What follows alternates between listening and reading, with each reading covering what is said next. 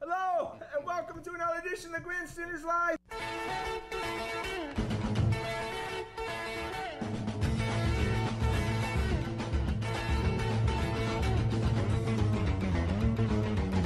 Sometimes the best trades you make are the ones you oh, don't Oh, make. for God's sake, so Right? seriously? Sure. I use that line How about the the- Tyler Sagan?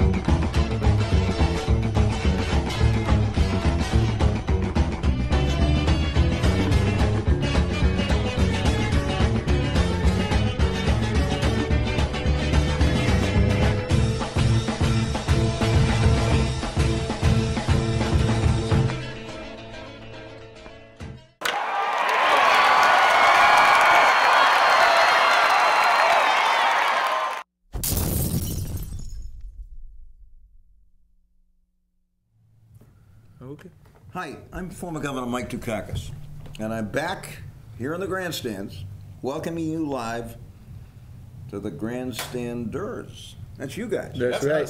Here's your host, Brookline's own Scott Kerman. well, thank you, Governor Michael Dukakis, and it's great to have him back on the show. Your second appearance. Indeed. Now, of course, Governor Dukakis told the greatest stories of all time last show that he was on, and then we only got to about the last five minutes. We started talking about the current Red Sox fate. Now, last year, of course, that wasn't too good.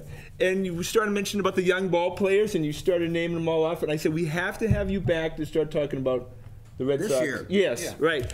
And so things are going well for the Old Town team. They currently sit in, as the best record in the American League and the second best record in all of baseball to the Chicago Cubs. And wouldn't that be With an old friend. Yeah. Brookline's own. yeah, right. Road. Can you imagine? Isn't that amazing? Yeah. I mean, we the team is doing well here, Right. and Theo is out in Chicago. Been there how long? Four years, five years? How long? Has it been? Yeah, it's Yeah. been quite a while now. It's more longer than I. But you got to admit it, he's put together. Well, imagine if Theo wins a, a second World Series for the Cubs. He'd be a top ten miracle worker. He'd be a top ten Brookline resident of all time. Yeah, right. Yeah, Right? Just think right. about in terms of that accomplishment. Yeah, but with the number one resident of Um, all we time. certainly are. yeah, right. But imagine if it was the Red Sox and the Cubs in the World Series. Oh, Wouldn't that be amazing. something? But nobody would be rooting for the Red Sox outside of Boston. Let's be honest, right? I mean, with this the backstory, I guess. but, yeah. I mean, you know, it'd be a, the nation's pretty strong out there. Maybe, Yeah, it maybe is. White Sox fans. right. Yeah, maybe White Sox. Do Yeah, the south side is. Do you know Theo Epstein? Do you know? Sure. Yeah, he's a good kid. Parents? Yeah. you know, terrific. As a matter of fact, did I tell that story the last No, time? go ahead. Well, when the Epsteins moved here, they had come from Beverly Hills. You know the background. Right, the mm-hmm. Casablanca, His, right? his uncle and his grandfather Grandfather, I think. were yeah. deeply involved in movie making. You know, directors, screenwriters, and so on and so forth. And they're kind of lefties politically. And they got caught up in that Red Scare stuff during the McCarthy period. I didn't and know they were blackballed. But they had a sense of humor. And they were called before the House Un-American Activities Committee. And before they did it, they got a questionnaire saying, and this was standard in those days, are you now or have you ever been a member of a subversive organization? And they answered, yes.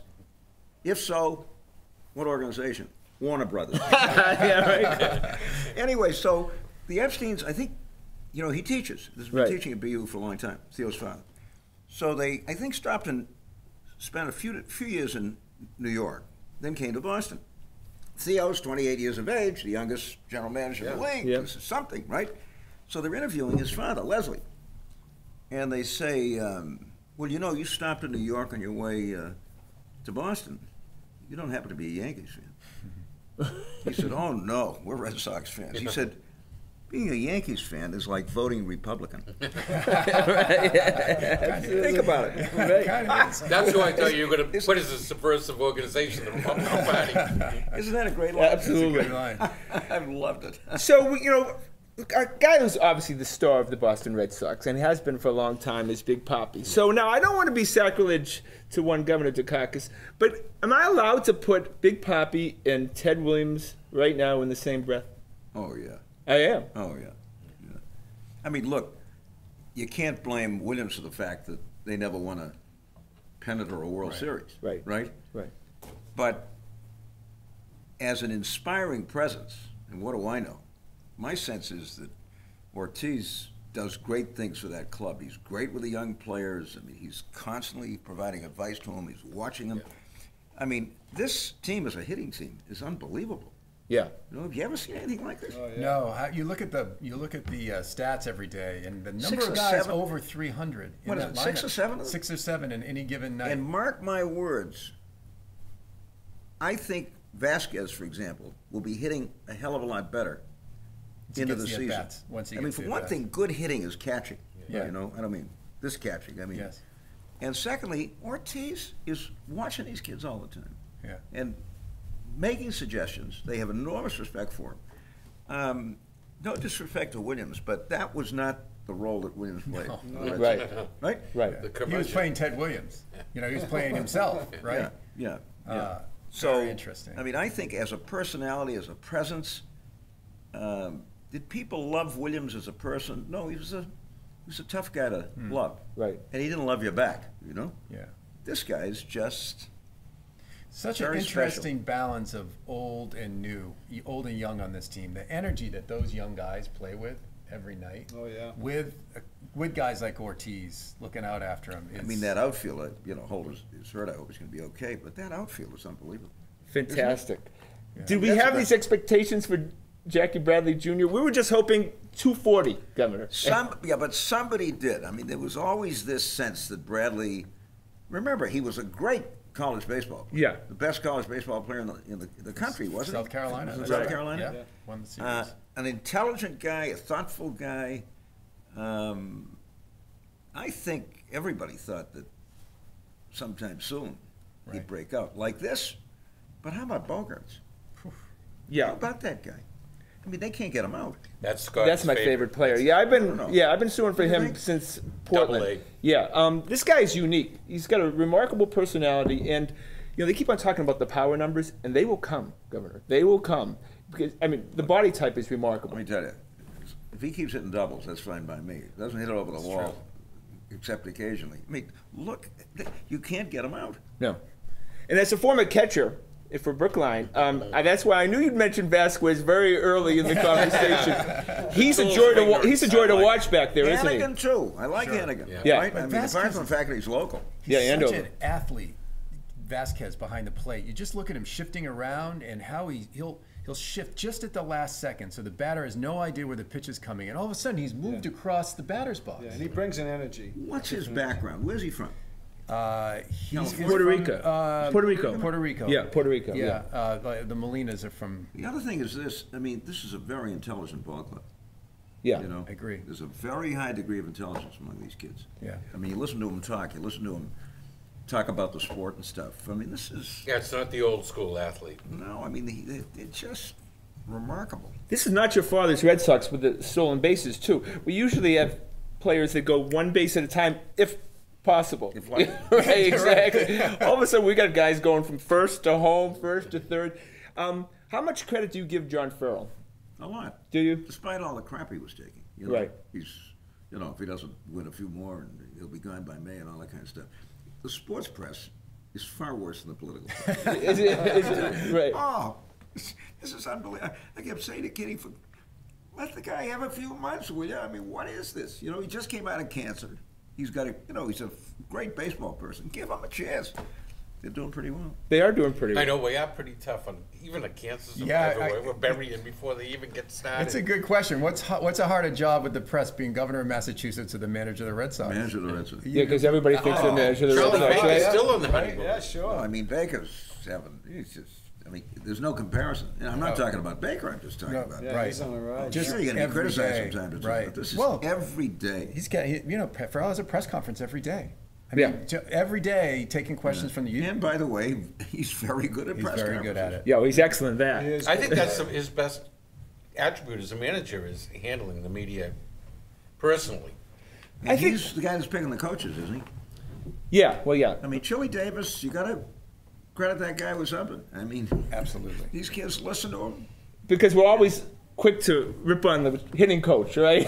He's always the first guy out the door. Right. Yeah. But Right. let me tell you, I mean, so I think it's fabulous. The place is jammed with people. Um, But okay, we're I well, you know The there's pitching- negative the sports guys pitching, too. No, you no, know, no. I a have little- no. little We'll get to the concern, pitching, but we have to get to one. Hanley Ramirez. See, I'm not a big fan of Hanley. Um, the rest over I here called is. it. I- I we s- have this argument back and forth. so So wait a second. Look, the guy got all kinds of stuff last year, and he was in the wrong place. right? okay, all right. Exactly. He right. was a great shortstop. He was. He has worked his head off, and he looks to me like he's turned himself into a fine, fine first baseman. He's having a lot of fun this year. No, he is. And you can't He's about 20 it. pounds Until lighter. last night. 20 about 20 pounds lighter. Right, right. Yes. oh yeah, right. he looks. And by 10 the way, running the bases, that guy's running the bases. No, he's You know? he's played well. I will But give it to you. You're going to be the last man. no, but I am. You understand What because bothers you about him? because I felt like he quit on the team last year. Last year. Yeah, last year. And Well- you know, and you've probably seen people who've quit on the campaign, quit on your administration, but are still there. And how can they get back into the room as far as respect wise? Do you know what I mean? Well, You, you got to earn it, and I think he's Exactly earning right. it. No, he's not. But you know, remember there was another guy that bunched together with that one Pablo Sandoval, and he hasn't earned anybody's respect. He's a guy that Well- went into spring training. He's going to be the next designated hitter, and we'll see how he does. But what do you what do you feel? I mean, do you feel like the guaranteed contracts actually drive some of this poor behavior as far as that goes? look at this team. Okay, so you got Ortiz who's making a lot of money. Right. You got to be making a lot of money at this point, right? Right. And then you got Price and some of these folks that are making huge amounts. thirty of money. million price. Let me ask you a question. How do you live on that? I don't know. I don't know. It must be a struggle. Yeah, very. Yeah, it's How do you- difficult. Yeah, and for the next seven years, he gets that. But um, when you look at that team, most of it is minor league team scouting, yeah, recruiting, grew from training, within, absolutely. right from Yeah. within. And I'm sorry, there's something about that kind of a team It's more exciting. It's not only more exciting, Yeah. they're better. Yeah. You know? I mean, these kids are they're athletic. Yeah. You feel closer to them. I, I do believe that when The homegrown when you've talent, watched these yes. guys grow and you've heard about them and you've lived through their struggles. I mean, we felt bad as much as pe- you wanted to really hammer Jackie Bradley for the bad Yeah, we did. performance. You're right. That's a good None of us gave. You know, you you root for these guys. Yeah. And when they make it, you're so happy. Yeah. Right. And remember, I mean, Bradley has always been a great fielder. Did you see that play the other night where he caught that fly ball in fairly deep center field on a line, no bounce, It's amazing. and I thought Vazquez got him. Yeah, right, it was- right. thought yeah. Vazquez I- got him. yeah, it was and if it weren't for the new rule, he'd have had him. He would have You know? Yeah, yeah, because he would've been able absolutely. to block the oh, plate. but on a line. Yeah. From Who, who does he remind you of uh, in the past as center fielders for the Red Sox? I mean, does he, is it Freddie Lynn comparison or is it well, Dom can- DiMaggio was a great center fielder. with the great arm? Yeah, I, I mean, I never saw Dom. Oh, Yeah, I mean, he was a great center fielder. right. So Oh, does that? Jackie Jackie Bradley's threatening Dominic's hitting streak record. I know too. that. Was it I know that. 34? 34. 34 games. And you know where Dominic lived? where On Walcott Road, South Brookline, is that right? Oh yeah. with my best friend Carl Hathaway. Oh, is that right? No Yeah. kidding. Yeah, yeah. Carl and I were classmates at the Baker School, classmates at high school. He pitched, I caught for the Baker School team.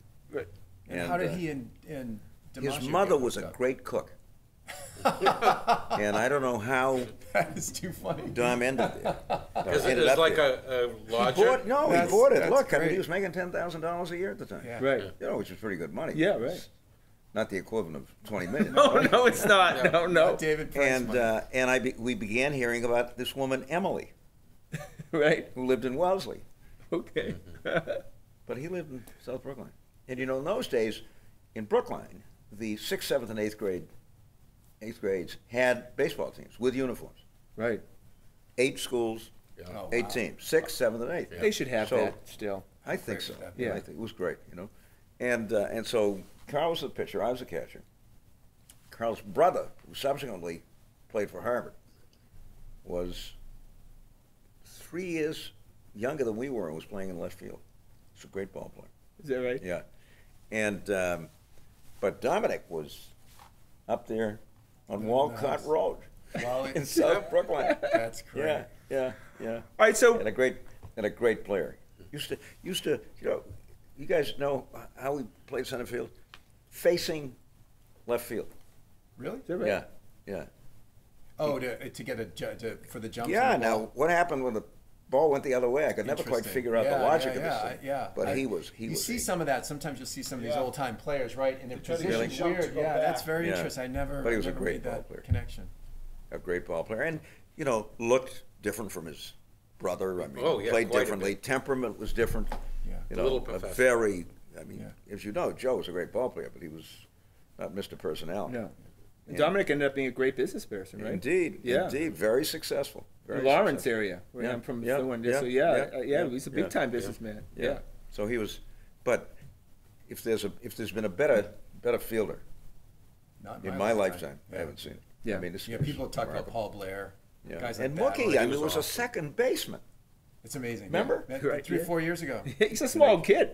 He's not a big guy. Let me Unbelievable. tell you. All right, so another, you- another guy who's who's you know thoughtful, intelligent, takes care of himself, Plays Um, with great energy. and these guys also take their conditioning seriously. That was not so much Yes, the and And he was very classy when things weren't going that well from last year. Right. Yeah, Yeah, he was. yeah. All right, so Very you're good. very calming, obviously, to me, and and, and, you, and, and convincing me. You're convincing me of certain players that I'm not in love with. And I'm so a guy I'm really not in love with is one Clay Buchholz. so I oh. need to. Let's see if the governor yeah, can be if you, I, about you, Clay you're maybe the Tomorrow ki- night. you, you may be the kindest man I know, but are you that kind to Well, him? it's, a, it's a puzzle.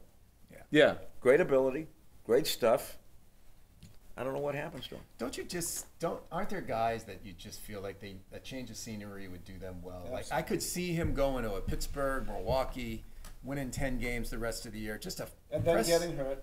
and then getting hurt, but just pressing restart and just clearing his mind. He No, looks I'm like not a, a guy that believes in the, in the geographic cure. Oh, you they- don't? as they say. You know? Right. Look, he's got great talent. There's something missing in those early innings, but you've got a manager and a group of coaches that really work with these guys. That's the other thing. Yeah, they see something in him, that's for sure. I mean, even the, the thing Pedroia saw about Price. Yeah. Isn't that amazing? It's amazing. That's what And veteran Pe- presence is will Pedroia gonna, is Pedroia going to manage someday? Oh, absolutely. You think so? Absolutely. I mean, he's such an impressive guy. isn't Yeah. he? In so many ways. But here's the guy watching him and saying, hey, you're doing something with your delivery. Right. You Exactly. know, how And he wasn't playing with him that long. right. in how many ball clubs do you have that kind of real camaraderie and Yeah. willingness to help? not in a bad ball club. Huh? 'Cause Bad ball clubs, they'll they're blaming to each other. and look at what Price has been doing ever since. Yeah. So Yeah. It's amazing. The other day they went through, and maybe it was on the on the telecast that the ten part checklist that Pedroia goes through in his head before every amazing? pitch, like like an algorithm, literally Yeah. it's software going through. Position, looking over to the third base coach, looking for the sign, looking at the positioning of the outfielders And you Giving know- the shortstop the signal was within taking two a throw. seconds. to, to get back to Ortiz, he's watching these kids all the time. Yeah. You know, making suggestions. That's It's going to be a big absence. huh? It's going to be a Oh, big yeah. spiritual Oh, big absence hole, when he's gone. yeah. What's he going to do? Okay, I think he's decided he's not going to play. Do you think I- there's I a think he he, has might to. he, I don't if they gave him 25 million that he'd come back? I don't think. I mean, the guy must have a hundred million bucks in the bank. Got him, right? You think? Yeah, you would think and so. Yeah. And he's, I'm sure, got got some smart investment advisors. Yeah. Making sure that's, but he should continue to play a role of some kind. Don't you think he'd be the great as the genial host at a restaurant or something? You know, is your oh, restaurateur? I'd But see- would I you would- retire? Would you retire if you could still play that game at that level when you realize once you step are- away you'll never be able to play his the legs shot. You guys know more about what's It's going on feet. than I am. My impression is that it's just very tough for him to get back in shape. Yeah. right. The season. December. I think it's probably the the month, the, the deciding month for him, but not coming back is he doesn't want to spend the month of December Working out. getting his body into shape for the year. And Yeah. look, look, I'm you know, I'm 82, right? But and I feel like a million bucks, but I'm out in Denver with my daughter and her family, and she's got two kids, boy and a girl, and Nico, the oldest, is a good athlete, a fine student, and he's the Colorado high school doubles champion. Well, Really? Yeah. Wow. wants to come east. Um, so I'm out there in October, throwing a football around for ten minutes. Yeah. My shoulder is still sore. Yeah. I'm serious. You know, I mean, my greatest joy was throwing a ball around Yeah. with my grandkids. It's aggravating. It's been stolen from you. You know, you know what I would say about, and I think the guy who, who may pave the way for uh, Ortiz, for Latin players who, who, who have an accent. Pedro is so Yeah. incisive with his. Oh, yeah. Like I could listen to Pedro Martinez talk about baseball on TV all day long, and Ortiz would be fantastic at it. Doing that. Oh, you kidding me with the stories and seeing things that he sees? And You get- is so intelligent. He's He- amazing. He is. He is. He's amazing. He you know. talks about pitch, pitching like a, like I would assume Michelangelo talked about painting. You know, I, he just The he finest of details. the showing's the same way, the real, real good ones. They really appreciate it, the art of it. Mm. You know, The problem, with, the problem with Schilling is he won't stop talking about, About everything everything else. else but baseball. Can I get political for a second? Oh, well, yes, absolutely. He's a right-wing conservative who doesn't mind getting government help Right. for his business. What Right. kind of a Yeah. what kind of a conservative is is that? Oh, But oh, he yeah. seems to have forgotten that uh, the whole Rhode Island saga of, you know, and Oh, and how he didn't tell the Red Sox how he was hurt and stole that last thirteen million. I. I remember when that was being discussed. People were saying, "Why aren't we competing with Rhode Island?" And somebody said, "What do you think?" I said, "I wouldn't touch that in a million years." You know, Right. I'm all for investing in infrastructure and all the other stuff, work worker training and so on. But this business of subsidizing this Video company, games. that company, another company, picking winners and losers, forget it. It's a mistake. It's like a lottery. It's a mistake. Okay, so yeah, well, all right, we're going to talk politics in a little bit because we have to. Yeah. But um, I have to get your view about the whole. When we last talked, we talked about Deflategate. Okay, so now it's moved to. Do we have to? No, just just tell me if you were advising Tom Brady right now, at the point that you are right now, what would you advise him? As Go a on. Harvard Law School Keep graduate it. of Oh, what oh, 1960, is that right? 1960. Yeah. A classmate of Antonin Scalia. Oh, my Oh, I'm yeah. Even then, he was to the right of Marine. anyway, um, my understanding is that when you get the kind of decision that they got Right. from the appeals court, turning it around is extremely difficult. Yeah, that's what it appears to be. Yeah. And I don't know, haven't we had enough? I mean, why not just hope that a new guy can throw the ball around and I think win he a few just games? can't stand the thought of giving up the games. I don't Even think for- he likes even- being called a liar. even- I for think that's right, Joe. Yeah. I think Yeah. that's right. I think he wants to take I think this he's as been. far. He thinks he's been wronged. Yeah. You know, he wants to take it as far as he can to say, look, I fought this thing the whole way. I'm never, I'm not going to give in. What do you think of Roger Goodell? I mean, do you think that he's abused his power? You know, you've been in great power. You, you Putting, putting this to one side, what's this latest thing about uh, their The playing games with the money that they were supposed to be contributing to the research Yeah. right, project? What's that all about? Yeah. right. Look, there's a there's so much that there there's so much about that that reminds you of the, the tobacco industry and it just they they came took You guys so saw the movie, didn't you? Yeah. Will Smith. Concussion. Right, yeah. How he didn't get a, at least nominated for an Oscar is beyond me. I Yeah. thought I thought Smith was fantastic, Yeah. Excellent. but I didn't know that story that well. I know about this Yeah, Nigerian what doctor are the, yeah, who comes what, over. what are the chances? The Nigerian, you know, crazy. And this guy who comes over here and just insists on pursuing this thing and finally starts Yeah. convincing people. Yeah. I mean, it's amazing. But, I mean, I think that whole thing has been handled very bad. Yeah, they pulled all the funding from BU. Yeah. They, What's that all about? They were because they weren't getting the results they wanted. It- because they had a guy testify in front of Congress who said, what, a few months ago, of course, the players have concussion problems. What are you Just lost talking another about? guy, Bubba Smith, we just lost him, right? Yeah. Right, yeah, look at Junior Seau. You know, a few years. Yeah, I mean, that, you know, and Awful, yeah. yeah. So um, we have the, the, the, quite a wild card in this election coming up. Who's scrambling the eggs more than probably anyone has ever scrambled the eggs. Which with- one? Trump, right? I mean, this. You, how do you even begin to predict or forecast what's going to happen? Look, if I knew anything about presidential politics, I would be here in another capacity, right? so don't assume I know anything more than Here's my take, whatever it's worth. Uh, providing the Democratic Party does what it's got to do here, this could be a transformative election for the Democrats. Right. Right. but it's not gonna fall into our laps. This has gotta be a fifty-state campaign. I don't wanna hear any more about reds and blues and purples and that sort of nonsense. gotta take the Senate. Two hundred thousand precincts. I'm serious. Great point, yeah. With a precinct captain and six block captain in every precinct, making personal contact with every single voting household in the United States of America. I'm serious. A grassroots ca- campaign. And a real grassroots campaign. And I don't want to hear about that's a red state. You know, Right. I mean, red state. I carried West Virginia by 12 percentage points. Right. So how come it's red? Right. You know, working class West Virginia. What are Yeah. you talking about? But this has got to be a very intensive. Do you Now, think, the so main- you, you think it's a ground game? The, the way you beat his without free, a doubt, the and, and frankly, coverage. and you know, TV advertising is not anywhere as effect, anywhere near as effective these days hmm. as it has been in the past. Why? Well, we all know kids are. Right. you know, watching. I don't know And what people else. toured it out. Yeah, it's that knock on the door. It's that person in the neighborhood. Trust me. I mean, look, Elizabeth Warren would not be a United States senator today if it hadn't been for that. And I remember Kitty and I getting together with her, what a year in advance. I had heard good things about her, but I'd never met her. Yeah. And so I gave her my little speech. There are 2,157 precincts in the Commonwealth of Massachusetts. You got to go out and recruit 2,157 precinct captains, each of whom recruits six block captains, and their job is to make personal contact on an ongoing basis with every single voting household. And she's sitting there taking notes. Taking notes. And she bought into this. And it was tough in the beginning, apart from the whole Native American thing. I mean, just getting started in this kind of thing. Yeah. And I got so worried, frankly, in the summer that Kitty and I went out and started having meetings all over the state with our people, you know, who would work for me and work their dogs off for me. I mean, we had great grassroots organizations.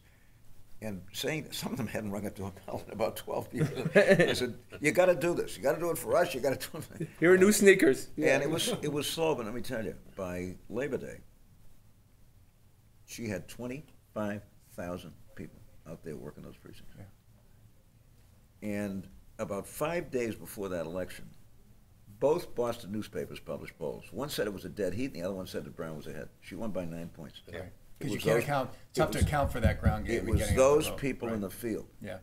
Right. In fact, I love telling the story because even I never did this.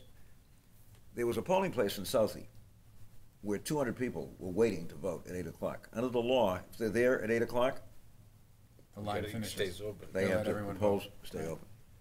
Within, listen to this, within five minutes, Warren workers show up with hot coffee. That was a cold night. With hot coffee and pizza. Saying, if you're Stick with us. cold, here's Yeah. some coffee. If you're hungry, here's some pizza. But Right. don't leave. That's an organization. Now, that's exactly what Hillary Clinton's got to put together. Do you think she's vice presidential, Timbo? Who? I don't think I don't think she wants to do it.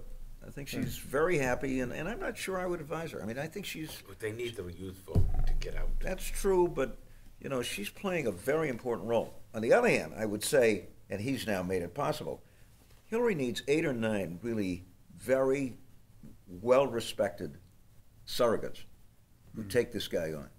Right. She's already She's taken. already taken Yeah. I mean, he's taken her on, so Right. which is kind of stupid Right. in my opinion. Right. Yeah. Because let- let's face it, the guy's crazy and he's a phony. Right. He's a fraud. I'm sorry, he's a fraud. Yeah. But how did he tap into the Republican base enough Because, to? because it was not a strong field, Right. and Republicans are very upset. People generally aren't feeling great. Right. And uh, this guy apparently appealed to enough of them. Remember, until the end, he never got 50% of the vote. No. And had he had a credible, I mean credible, single opponent, he'd have lost the thing. I believe that's right. But let's face it, this guy's got something going, and I think anybody who takes him lightly Yeah. is making a mistake. But I think if we do this ground game on a 50-state basis, we can not only win the presidency, I think we can win the Congress. Yeah, get the Senate back. What's Bernie? Senate anyways, I think. Senate, maybe the House. What's Bernie Sanders' role in all of this? He's got to, he's got to go mean, in I would. I would hope, taking a lot of pride in the fact that he not only ran a hell of a race, but has had a real impact. Right. Absolutely. But at some point, you know, when the other person wins, as I think she's going to, it's time to say, okay, had an impact. He's made her a better candidate. Absolutely. I mean, that Yeah, competition I- has been important for her. I think I think she made Obama a better candidate in 2008. there's any question pushing about him all the way to the end. Did Washington put her over the delegate count? Well, apparently, Washington has caucuses and a primary. She lost the caucuses, but she won the primary, but the person who wins the caucuses gets the delegates. Don't oh. ask me. Do you know Bernie Yeah. Sanders personally? Not, you No? know, I've talked to him from time to time, Yeah. but not, not that close. Kitty's never forgiven him, you know, Why is that? because he endorsed Jesse Jackson over her husband. Oh, is that right? And women I did not He know was that. the never mayor. forget. Was he the No, governor? no. Women never Hell hath forget. fury in the sword of a woman. Oh, yes. Oh, man. Very long memories. Uh, oh Scott's yeah. felt the lash of the tongue. So that's a swear word in, in, in the Dukakis house, Bernie Sanders. Anyway, no, no. I'm joking. He's an okay guy, but she's never forgotten. Just not getting the What vote. would that guy, what, what's he doing endorsing Jackson? All right, so we have. That that was 28 years ago. She still remembers. yeah, right? yeah we, we New Englanders don't ever forget. So who's going to win the election? Providing we run a 50 state all precinct campaign, Right. I think Hillary's going to win, and I think we have not only a very good chance of taking the Senate back, maybe the House as well. I'd Maybe love the to see that. Up and down the. It's been a long time. But I'm telling you, folks, this cannot be, you know, kind of a, you know, we're doing the grassroots thing. I mean, this has got to be, no. we're talking, now, you say to me, can you recruit 200,000 precinct captains? Well, she's got a, a million and a half contributors. Yeah. I mean, Right. that's just a pool to start. And I think people would be very energized by this. Yeah. Don't you? I mean, the notion, because the alternative is so bad. For And- people. Yeah. it's people out there, you know, it's real ordinary folks out there. This is not a Yeah. managed, manipulated campaign. This is just good folks. By the way, it doesn't cost much. They're all volunteers, yeah. you know? Yeah. Well, They're all Phenomenal. volunteers. And I like your idea about having a dozen surrogates around the country, On the different other- on the other geographical areas, taking her on. You remember on. what her husband did? You know, we all learned from my demise when I made a very dumb decision that I would not respond to the Bush attack campaign. Mm, right. Okay, so we all know that was a big mistake. We all learned from that. Bill Clinton, in his campaign, had a small unit of about 11, 10, 12 people, about half of whom worked for me. And those folks were all over the Bush attack campaign, which, by the way, was just as tough on him as it was on me, except people don't remember that because he had this ready response It's the war room, right? And They and call the themselves the Defense Department. Serious.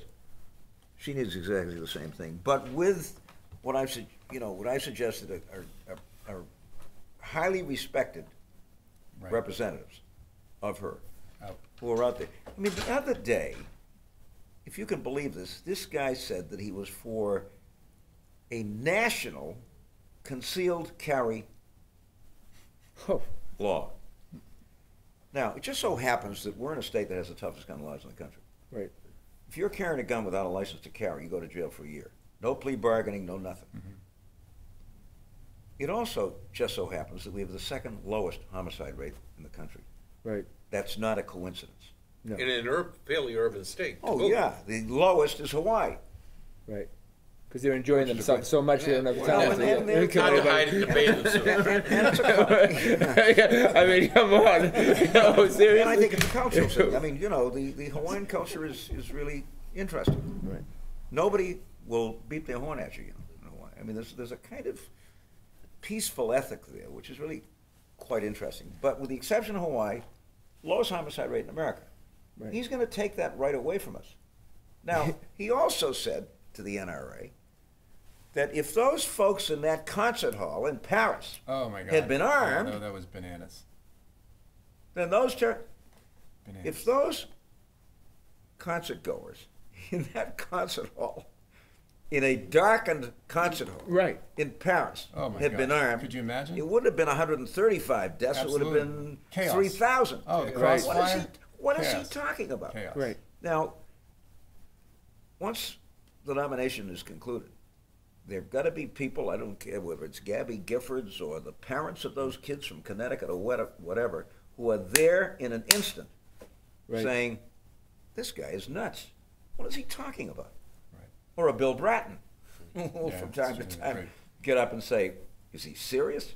He wants my police officers in New York City to be walking around with hundreds of thousands of armed people? I mean, the guy's out of his mind. But nationally, the Democrats have kind of run scared on that issue.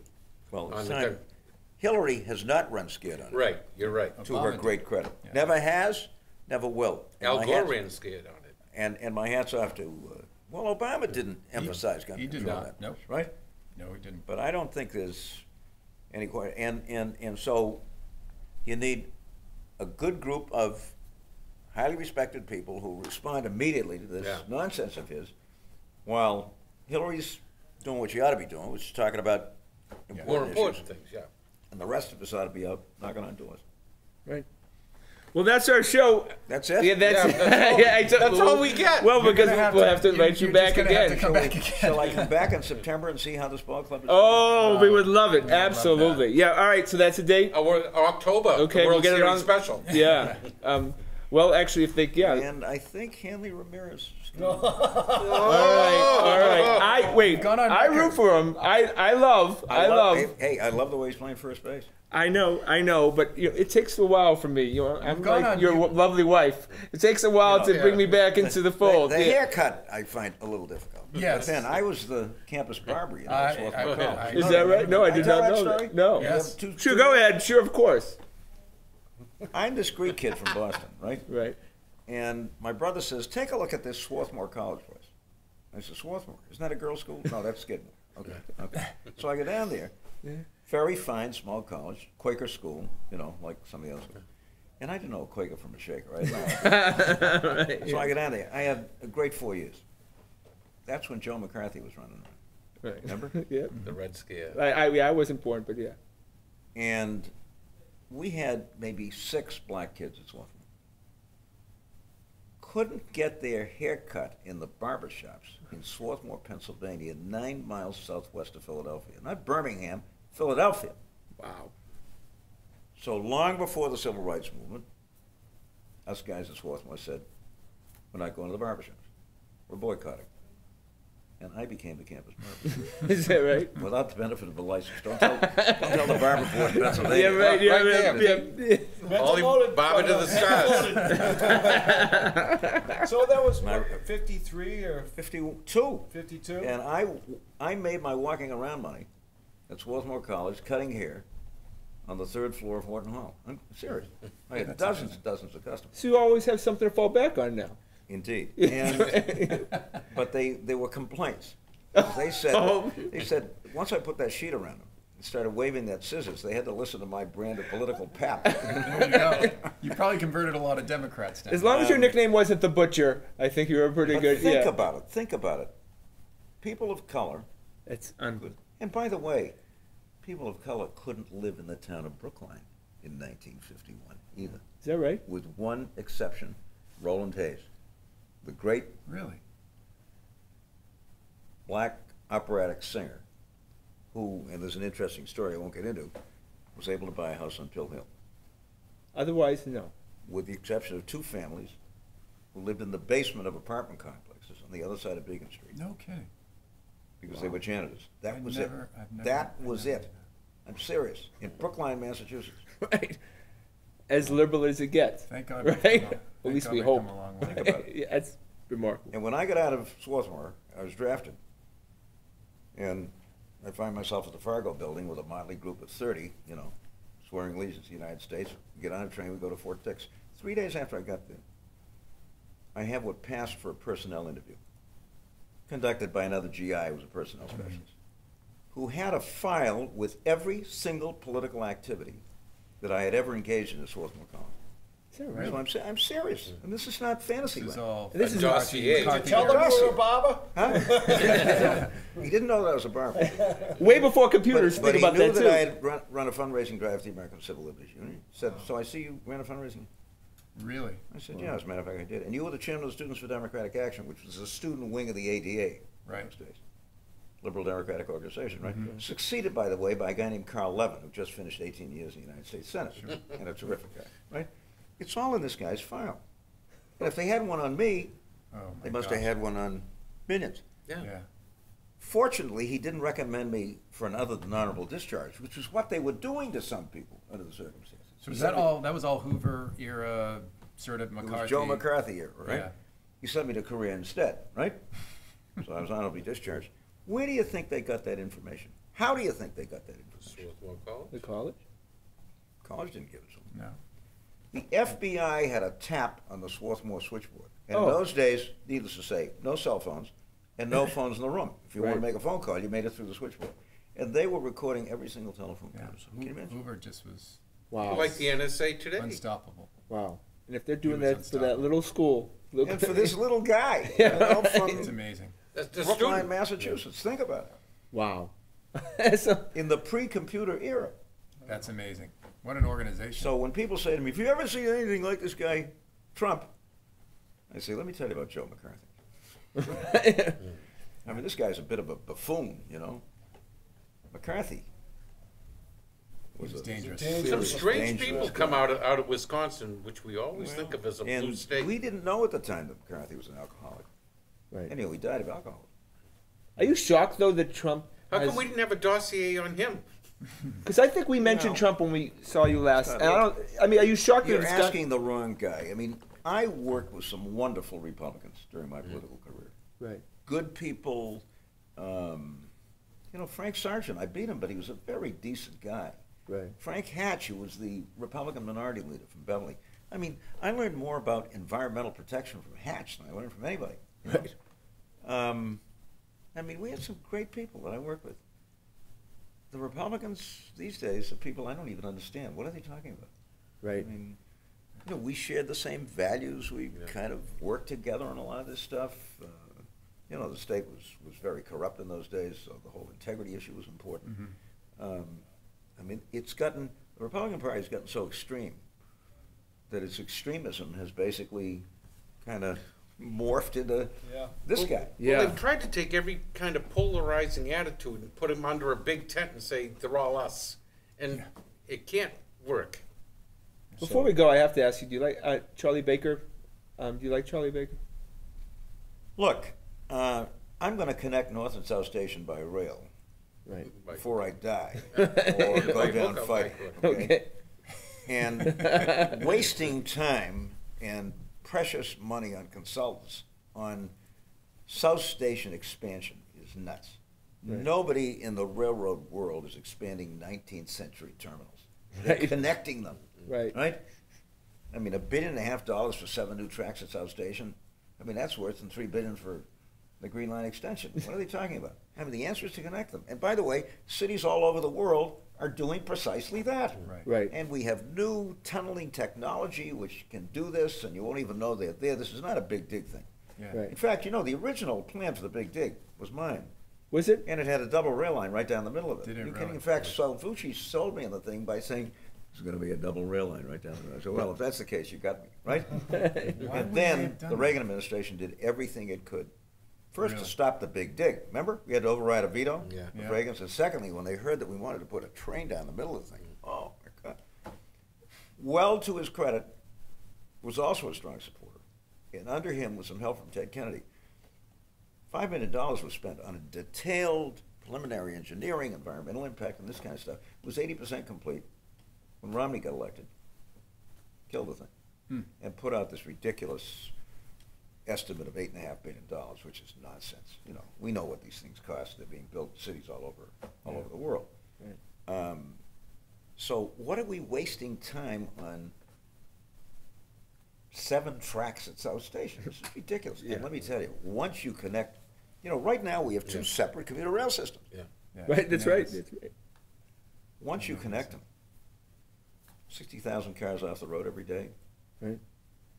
We'll save about ninety million dollars in unnecessary expenses. You'll have another 75, 80, 100,000 people riding commuter rail. I mean, it'll be- Businesses can expand out to the suburbs rather than being Yeah, centrally it's more congested than ever. And Because you notice that the very terminus recent- is the city of Boston.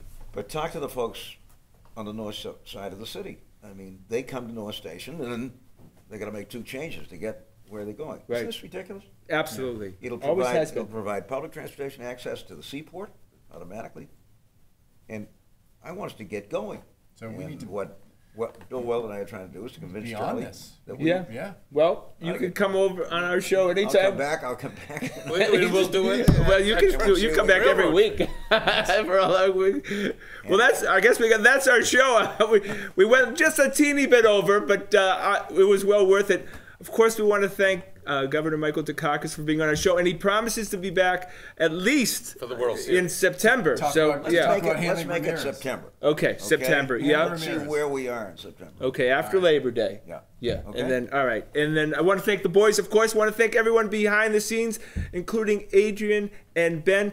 Please check us out on our website at thegrandstanders.com and tune in again next Wednesday night at 6.30 for another edition of The Grandstanders Live. I'm your host, Scott Kerman. Have a great night. Always fun. Great. Oh, that was terrific. Who do you think Trump? I'm Scott Kerman. Have a great and happy night.